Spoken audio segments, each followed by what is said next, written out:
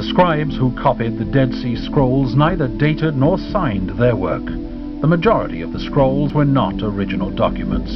They were copies, probably several generations away from the original text. While the script may give an indication of when the scroll was copied, dating the style of the text depends on identifying events and historical figures described. However, there are only a few such occurrences among all the scrolls studied so far. Close examination reveals certain forms of letters characteristic of the Hasmonean period, while others were typical of the later Herodian period.